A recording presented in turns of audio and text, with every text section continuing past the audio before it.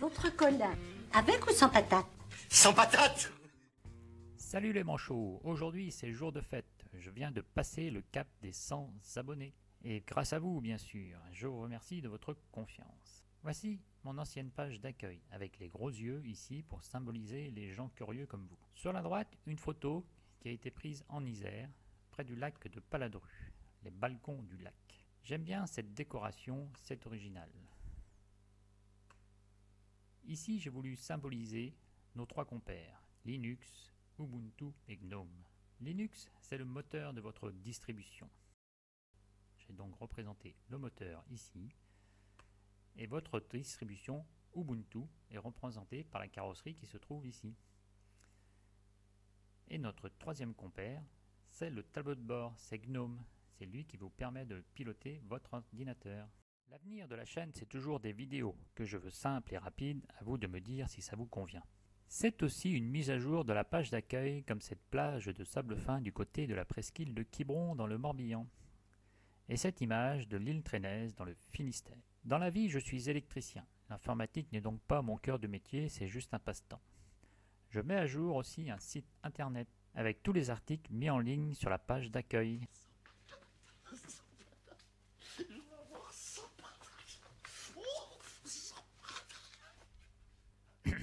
Le point Info Linux, c'est des ateliers pour partager et aider tous les utilisateurs à bien démarrer sous Linux. C'est des ateliers que nous animons à la médiathèque de Quimperlé. Pour l'instant, ils sont annulés à cause de Covid, mais reprendront dès que possible. C'est des ateliers pour partager et aider tous les utilisateurs à bien démarrer sous Linux. Et bien sûr, à les suivre et les aider sur la durée. Pour cela, je peux compter sur Johan, qui lui est un professionnel de l'informatique. Alors, en dehors des ateliers de Linux, il est bien sûr possible de le contacter. Il pourra vous donner un coup de main si nécessaire. Sinon, il faudra attendre les réunions.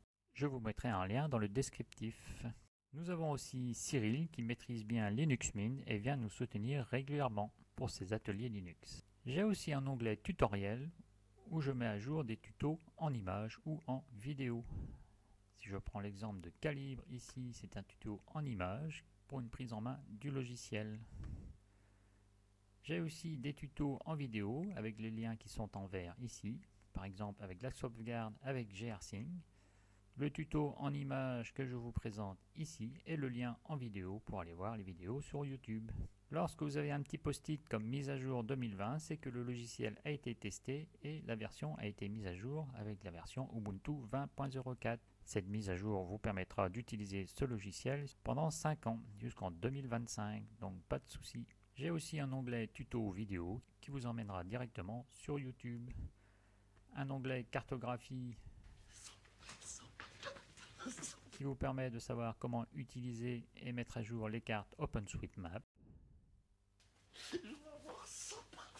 Un onglet événements, c'est tous les événements où l'association libre à Quimperlé participe. Pour l'instant, il n'a pas été mis à jour. J'ai vu que nous avons fait une install partie à Quimper en 2020 qui n'a pas été ajoutée dans la liste que je ferai prochainement. Ici, c'est l'onglet Checklist. C'est juste un onglet personnel. C'est pour contrôler lors de l'installation de Linux sur les ordinateurs, des petits contrôles à faire, comme par exemple vérifier le fonctionnement du Wi-Fi, contrôler les paramètres, les logiciels indispensables, installer un bloqueur de pub comme uBlock Origin, installer aussi un logiciel de décompression comme UNRAR Free et UNRAR qui vous permettra de décompresser tout type de fichiers quelques infos techniques supplémentaires lorsque j'installe Linux.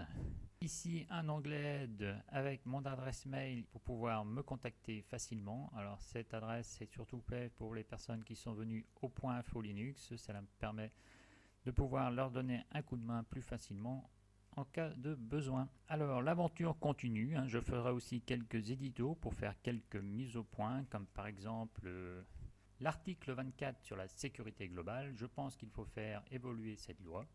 25 euh, serait plus logique, on a le 25 décembre bientôt, Noël qui approche, euh, enfin c'est mon avis. Les éditos pour revenir et donner quelques infos supplémentaires sur des tutos déjà parus.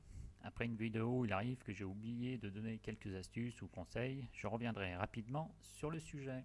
Et de temps en temps une vidéo pour sortir des sentiers battus et vous ouvrir un petit peu l'horizon sur d'autres sujets qui me tiennent à cœur. Je vous dis tiens à vous et à bientôt